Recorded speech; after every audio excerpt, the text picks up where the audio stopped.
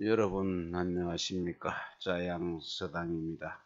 상식적인 생각과 세속적인 가치를 큰 소리로 비웃는 사상가 장자 절대적인 자유와 무의자연을 주창하는 사상가 장자 네, 장자 11편 제유편 사장입니다. 운장이 동요하야 과부요지지하다가 이적조 홍몽한데 홍몽이 방장 부비작약이우듯 운장이 견지하고 당연지하며 지연리파야 왈수는 하이냐며 수는 하위차 있고 홍몽이 부비자야 굴철하고 대운장하야 완유하노라. 운장이 왈지문 원유문야하노라. 홍몽이 아니시 운장하야 왈우라. 운장이 왈천기 불화하며 지울결하며 육기 불조라 사시불절 일세 금화원 하육기지정하야 이육군생하노니 위지내하여 홍몽이 부위작약 도두하야 왈오는 불지로다 오는 불지로다. 네, 운장현 사람이 동쪽으로 놀러를 갔습니다. 그런데 놀러를 갔을 때 그 거대한 부요, 어, 신의 나무라는 나무의 가지를 지나다가, 지나다가, 저 때마침 만났네요. 누구를 홍몽을 만날 쪽 만났습니다. 그런데 홍몽이 이 넓적 넓적다리 넓적다리를 두드리면서 참새처럼 또 작약했네 참새 작자 도약을 했죠. 꼼충 꼼충 뛰면서 놀고 있었는데 와 운장이 그 사람을 보고 그 홍몽이 뛰고 놀고 있는 것을 보고 어 그 가만히 그 있다가 있다가 이거 저 있다가 말을 걸었습니다. 말을 걸었습니다. 수는 그 어르신께서 늙은이 숫자죠. 어르신께서는 어떤 사람입니까? 어떤 분이십니까? 왜 그 어르신께서는 왜 그렇게 그 뛰고 뛰면서 놀고 있습니까? 하고 물었습니다. 그런데도 홍몽이 홍몽은 계속해서 넓적다리를 두드리며 깜짝 끙충끙충 뛰면서 그 시끄럼 뛰는 것을 그치지 않았네요. 그러면서 운장에게 대답해서 말하기를 나는 놀고 있다. 이거 그뭐 뭐 때문에 그래 하냐고 물었는데 자기는 나는 놀고 있다. 라고 했습니다. 그랬더니 운장이 다시 말했습니다. 이건 나 진짜죠, 나. 그걸 이제 임금들이 짐이 어쩌고 짐은 나는 이렇게 할 텐데 나 진짜입니다. 그래서 제가 내가 다시 뭔가 묻고 싶은 것이 있어서 원합니다. 이것을 원합니다. 하고 물었습니다. 홍몽이 머리를 우를 앙짜죠. 머리를 들어서 운장을 다 올려다 보면서 올려다 보면서 말했습니다. 음, 그래, 어, 그래, 음, 감탄사입니다. 훈장이 말했습니다. 청기입니다. 청기, 말을 했습니다. 청기가 천기가 어? 불하다 고르지 않고 고르지 않고 또 지기 땅의 기운이 막 답답하게 얽혀서 맺혀 있다 옮기며 여섯 기운의 육기가 조화를 이뤄서 조화롭지 못하고 또 사계절입니다. 사계. 사계절이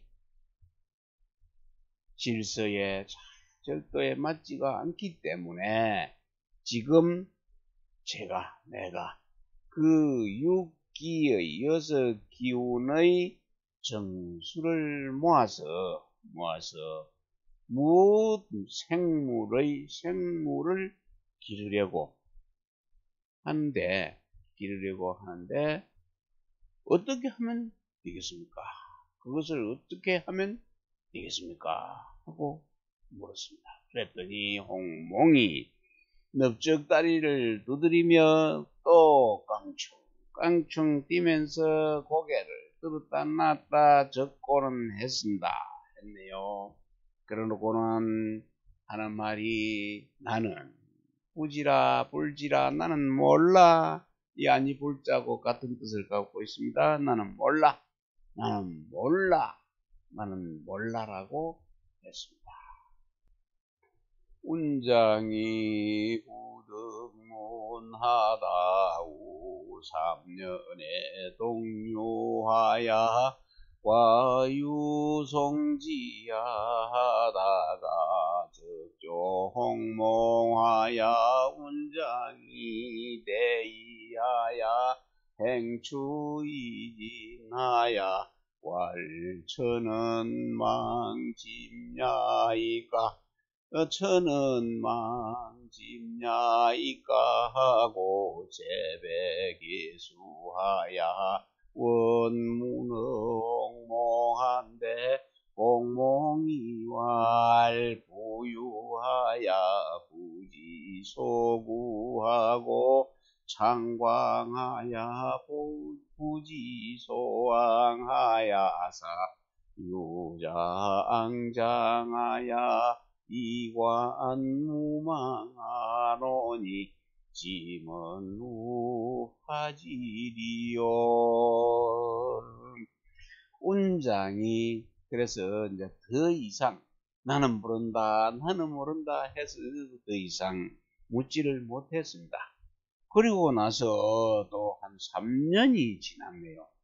3년이 지난 뒤에 운장이 다시 동쪽으로 놀러 갔는데 놀러 나가다가 그 송나라의 들판을 지나다가 지나다가 마침내 또 홍몽을 만났습니다. 3년 후에 그 홍몽을 만났습니다. 그랬더니 그래 운장이 크게 기뻐하면서 그 홍몽 만난 것을 기뻐하면서 달려가서 종종 걸음으로 달려가 나가가지고 이렇게 말했습니다. 운장을 갖다가 그 홍몽 운장은 홍몽을 하늘로 알았네요. 하늘께서는 나를 잊어버렸습니까? 저를 잊어버리셨습니까? 하고 또 하늘은 저를 잊어버렸습니까? 하고 두 번 물었습니다. 그러면서 재배하고 머리를 조아려 가지고 땅에 조아리며 홍몽에게 가르침을 받고자 다시 또 물었습니다. 청했습니다. 그러더니 홍몽이 왈 말하기를 홍몽이 말하기를 부유하야 뜬구름처럼 놀러 다닌다 이기지 쓸데없이 나는 이리저리 떠돌면서 무엇을 어떤 것을 구하는 바를 알지 못한다. 구하는 바를 알지 못한다는 무엇인지 뭘 찾는지도 알지 못하고 창광은 미치다는 얘기를 하면 좀 안 되지만은 정신을 잃은 사람처럼 마음을 놓아버린 사람처럼 마음대로 마음 내키는 대로 돌아다니면서 돌아다니면서 어디로 갈지도 알지 모르면서 오로지 그것도 바삐 아, 장, 앙장은 또 바삐 그 바쁜 모양입니다. 그래서 바쁘게 놀기만 하면서 그 만물에 망령된 것, 거짓 없는 그 실상을 볼 뿐이니 짐이 내가 또 무엇을 알겠는가 하고 또 대답을 했네요. 그러니 운장이 또 궁금합니다.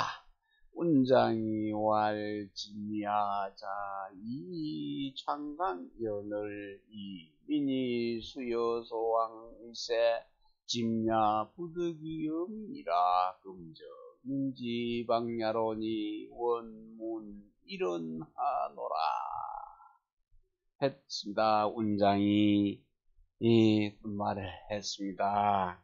저도 저도 그 스스로 마음 내키로 내키는 대로 창광입니다. 마음 내키는 대로 한다고 여기고 있었는데 생각하는데 백성들은 백성들은 제가 제가 따르는 데를 제가 가는 데를 따라옵니까?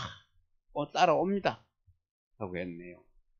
짐야 부득이라 저도 어, 백성들을 갖다가 어찌할 수 부득이하게 어찌할 수 없어서 백성들의 의지가 지금 백성들의 의지가 되고 있으니 어, 그 한마디만 좀 가르쳐 주시기를 바랍니다.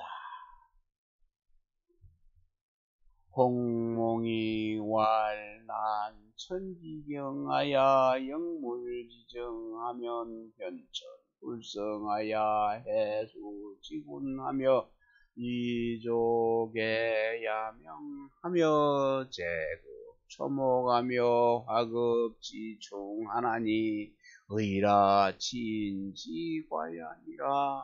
운장이왈 연적오는 내하여 공몽왈 의라 독재로소니 이공근 호고 기의여다. 운장왈 오는 우천이 난 할인데 원문 이런 하노라 그래서 홍몽이 말했습니다.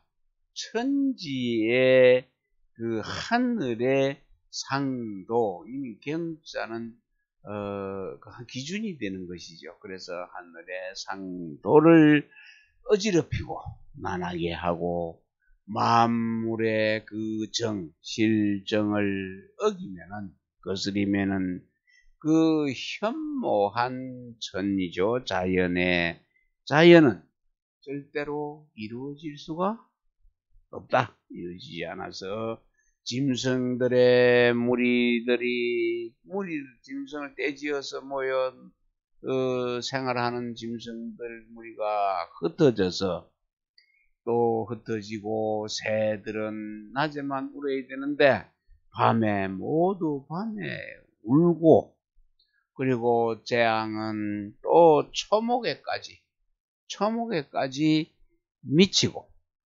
화는 그 벌레들에게까지 미치게 된다 하니. 아 기라. 아 감탄사합니다. 사람을 다스린 이는 것 그것은 무의 자, 무의하지 않는 것 자연에 맡기지 않고 사람을 다스리기, 다스리기 때문에 생긴 잘못된 것이다. 운장이 말했습니다. 그렇다면 나는 어떻게 하는 것이 좋겠습니까?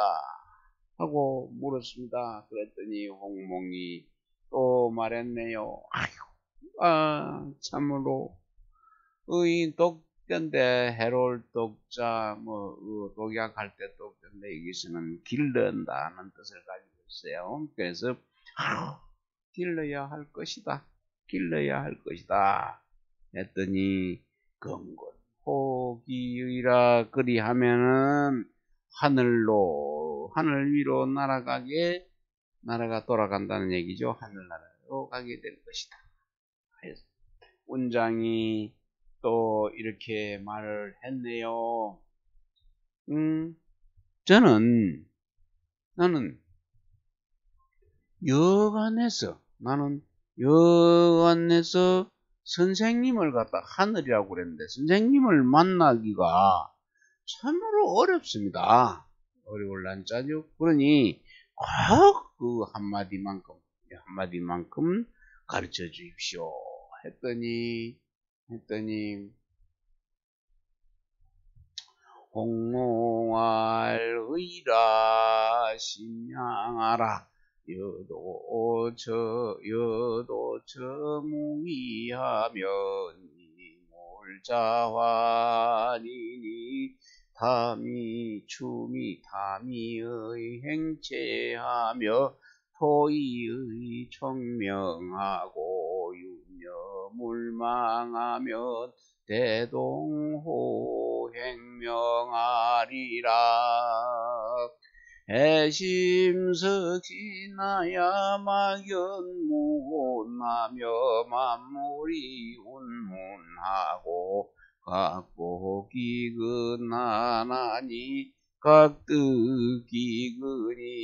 불지면 혼혼돈도 나야 종신 불리하리라 네, 홍몽이 말했습니다. 어, 마음을 길러라 심령 마음을 길러라 너 여자 그대가 그 무위에 머물기만 하면은 머물기만 하면 만물이 자연적으로 저절로 감화될 것이다. 그대의 그대의 그 행체를 떨어뜨리고 잊어버리고 또 그대의 그 청명을 토한다는 거 버리고 그 세상의 그 규범, 규범이나 세상의 그 규범이나 외모를 잊어버리지만 버리면 잊어버리면은 그것은 음, 혼돈한 도와 혼돈한 도와 완전해질 완전히 대동할 것이다. 크게 같아질 것이다. 그 마음을 해이하게 한다. 마음을 푼다는 것은 마음을 비우고 또 정신을 푼다는 건 정신을 놓아서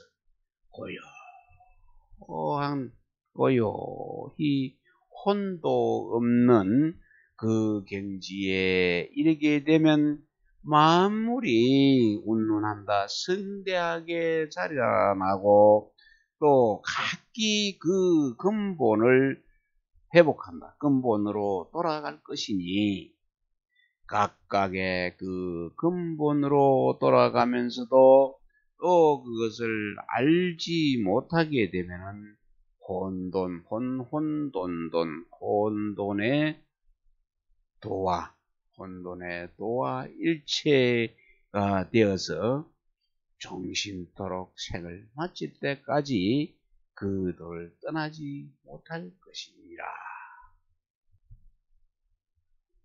약피 지지면 내실이니라.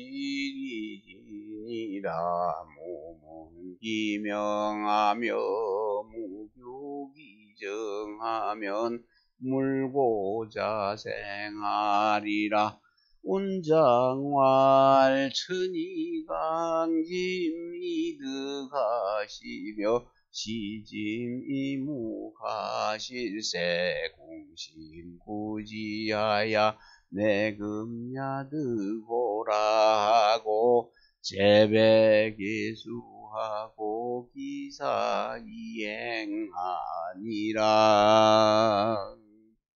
그래서 정신토록 그 어, 이제 도, 도와 일체가 되어서 그 도를 떠날 수가 없다고 그랬죠. 그래서 약피 만약에 그러나 만약에 그, 그들이, 저들이 그것을 알게 된다면은 그것은 곧 또, 또 해서 또 떠나게 될 것이다. 그대도, 그대도 그 이름을 묻지 말고, 묻지 말고, 또 그 실정, 그 실정을 갖다가 엿보려고도 하지 말아라. 그걸 알면 알수록, 알려고 할수록 또는 떠나게 되니 까, 되지니까, 그렇게 하지 말아라. 그러면은, 만물이, 만물은 저절로 생육될 것이다. 운장이 말했습니다. 운장이 이 하늘이신 하늘이신 그 선생께서 나에게 짐에게 나에게 덕을 내리 셨으며 또 그 묵 침묵해서 말을 안 해도 나에게 그 도를 보여 주셨습니다. 몸소 저는 저는 지금까지 몸소 그 도를 구하려고 찾으려고 애를 쓰는데 이제야 비로소 선생님 덕분에 그 도를 얻게 되었습니다.